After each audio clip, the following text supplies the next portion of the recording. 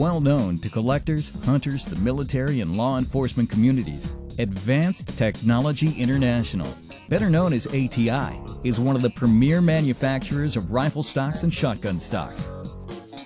They came to the show ready to introduce a group of exciting brand new products.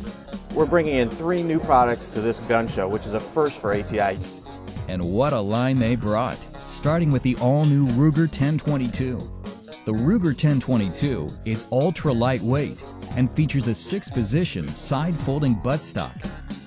ATI's SKS is made ultra lightweight, so it won't weigh you down in the field.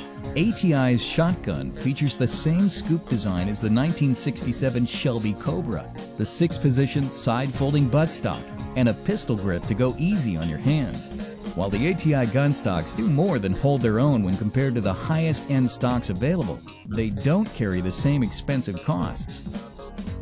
We try to take the average guy and give him a product just as good as the high-end guy spending $1,200, $2,000, $3,000 for. With so many new products introduced this year, you may be thinking ATI is going to take it easy on the industry for a while. If you did, you'd be wrong. ATI has already targeted their next expansion. One of the biggest growing areas in the gun industry is female shooters. And we're spending a lot of effort and time working on stocks and butt pads for that. Inventive design, quality stocks, and pricing that can't be beat. ATI is poised to continue its run in the gun stock industry